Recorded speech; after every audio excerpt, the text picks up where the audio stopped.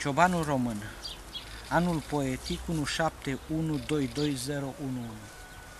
Ciobanul român stă proptit în băta lui, încrustată cu cristale Swarovski, gândind la fructuațiile bursei de lână de la Sydney. Fructuațiile poartă respect ciobanului român pentru frumoasele sare mioare. Mioara Ionescu, Mioara Popescu, Mioara Stănescu, crescute pentru carnea și lâna plăcerii. Bursa, în schimb, nu. Deasupra, în foarte înaltul cerului, trece un satelit, pe care ciobanul român nu-l bagă în seamă. Sunt certați. În schimb, pe sub pământul de sub picioare, îi trece o apă freatică, frumușică și cu merț prin țar de izvor. Se știu și se apreciază reciproc.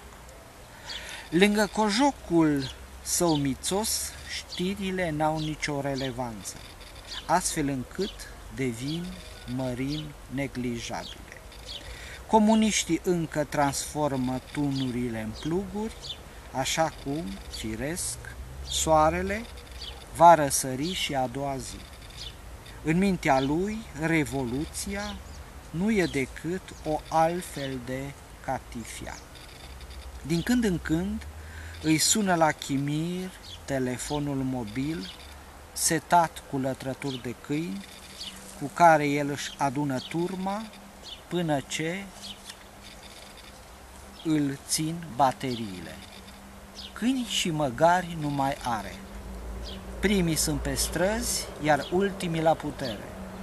Așadar, grijă, criză și la stână.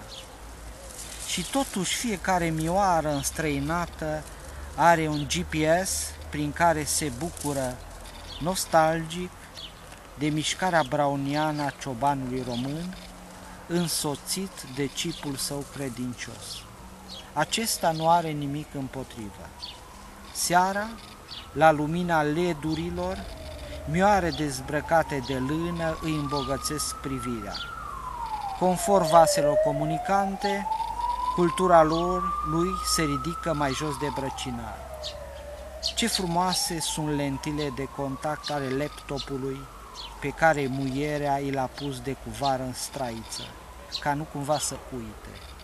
La întoarcere trebuie să mai știe cum.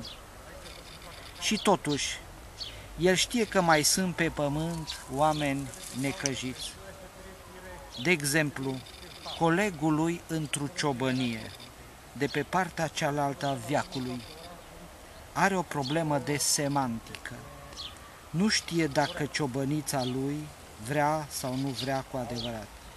Chestie de psihanaliză a lui Freud.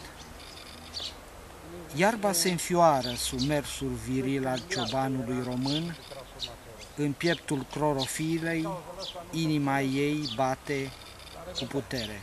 Ei sunt acasă. Se aud cântece de statornicie. De acest motiv, ciobanul român nu se teme de lupi, de urși, de fapt de nimeni. Doar de colesterol, pe care nu știe cum îl cheamă și de unde vine. Dar nu-i bai, are băta pregătit. El știe că patria lui toarce liniștită povești bucolice, unde el este în rândul întâi și poate în toate rândurile. Și ca să fie sigur de asta, la cinematograf a cumpărat toate biletele să se sărute în voie în ultimul rând cu veșnicia. Câteodată ușuratică și veșnicia asta. Nedumerirea lui vine de la nedumerirea lui nu vine de la prezent și nici de la trecut, ci de la viitor. Cum se va descurca cu numărarea oilor cu integrarea de suprafață? Cu câți de R se va scrie cuvântul român și dacă banul din cioban va mai avea vreo valoare? Dacă va trebui să urmeze obligatoriu facultate pentru a mai putea fi cioban?